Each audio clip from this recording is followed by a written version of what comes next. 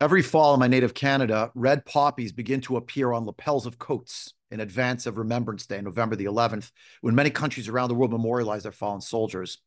The tradition of affixing flowers to clothing as a symbol of this day was established thanks to a poem by Lieutenant Colonel John McCrae, a Canadian physician who was serving as a soldier in the First World War.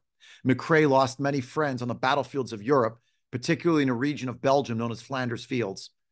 When he returned to those fields, he discovered vast numbers of poppies that had sprouted up in the area, blanketing the fresh graves. The poem that he wrote concludes with the voices of those interred in the fields, speaking to us. It reads Take up our quarrel with the foe. To you from failing hands we throw the torch. Be yours to hold it high. If ye break faith with us who die, we shall not sleep, though poppies grow in Flanders fields. For those of us who gave our lives for the cause of victory, the dead are saying, everyone else must soldier on. They bid us to keep going, to finish the work they began. On Tu B'Shvat today, of course, I'm thinking about how we attribute deeper, sometimes darker meanings to vegetation. Though from a halachic perspective, Tu B'Shvat stands as the start of the fiscal year for the mitzvah of tithing fruit trees, it can also serve as a time to reflect on the symbolism we find within the natural order that can speak to us in our excruciating moment. There's ample precedent for this in our tradition. Consider that just before our hour of redemption from Mitzrayim, the Torah commands the daubing of blood from the Korban Pesach onto the lintel and the doorposts of every Jewish home in Mitzrayim. And it does so through a detailed procedure for how to accomplish this. The Torah says, Ulekachtem agudat ezov utvaltem badam asher basaf. Take a bundle of hyssop, dip it into the blood in the vessel, and then basaf, and then daub it onto the lintel and two doorposts from the blood in the vessel. Why does the Torah include the specific type of brush that we need to use for dipping and then painting? Like the burning bramble, the sneh bo'er ba'esh, that Moshe Rabbeinu encountered in the wilderness. It seems that the shrub known as the Azov similarly conveys a message.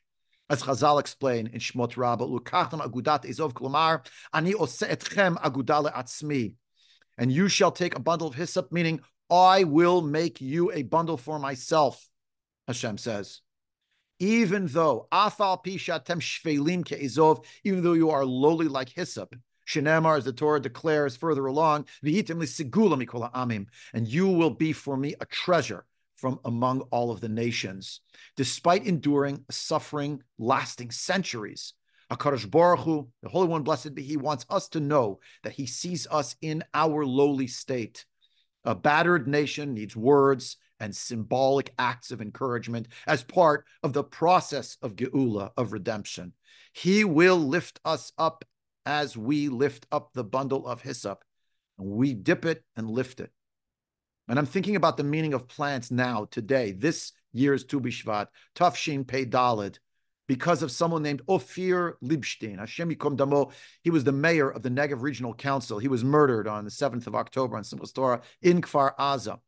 On one of the RCA uh, RIETS World Mizrahi rabbinic missions, the one I was privileged to attend, uh, his brother Doron spoke to us in Kfar Aza about how Ophir fought off the terrorists before he himself fell in battle. He lost so many members of members of their family that day, including Ophir. When Miriam Peretz eulogized Ophir Libstein, she called him the man who represents Hapanim Hayafot Shel Yisrael, the most beautiful face of Israel.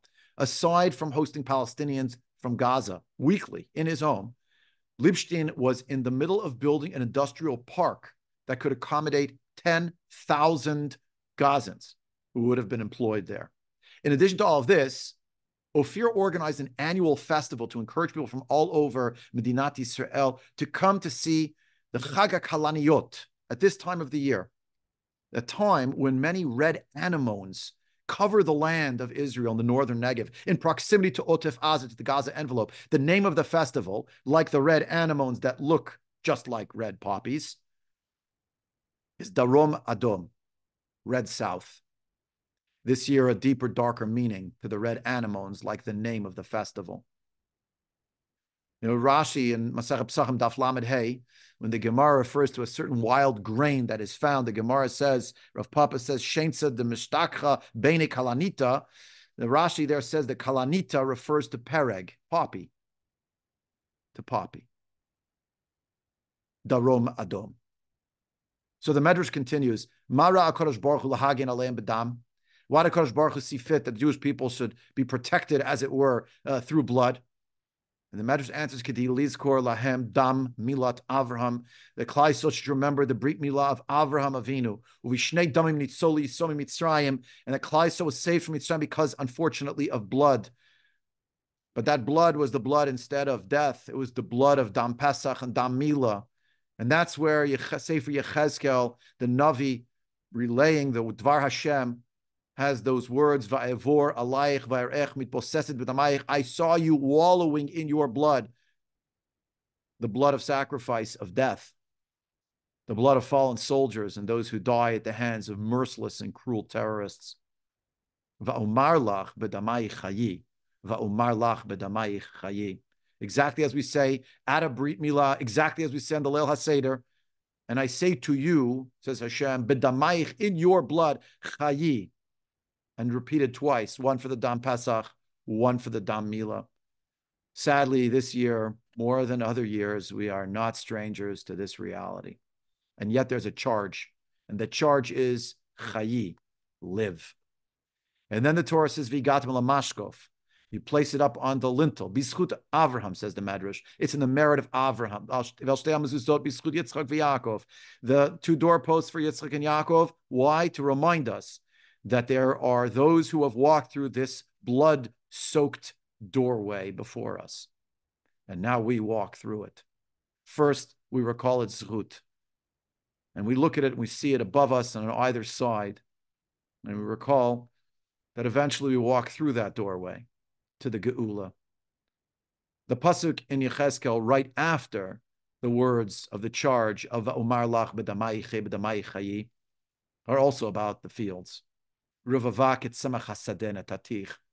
Hashem says, Someday I will make you like the wild grasses of the field. He writes on that we should be Zochim to see the time when, as the Sifrei Kodesh described, those who are buried in Eretz Yisrael is sometimes referred to the act of burial in Eretz Yisrael, sometimes called an act of Zriya, of planting, because it plants us deeper and deeper in our connection with Eretz HaKodesh, but it also reminds us that from the Zricha, eventually, eventually there'll be a Chanita. Eventually there'll be a new bud that will form. And that people who we have loved, who have left the world, will rise again at the time of the Biat Goel Tzedek, and then following that at the time of Tchiat HaMetim. So this year, like the Agudat Ezov, we are dipping our greenery into a vessel, a saf, that is filled with blood. But eventually, we remember that like the red anemones and like the red poppies, Klal Yisrael are also perennials. Be'ezrat Hashem, we should be zochim soon to see a great moment of Yeshua, and from there to the Geula Hashlem of Hamitit, and from there to the moment of Tchiat Hametim, Bimher B'Yameinu. Amen, Amen.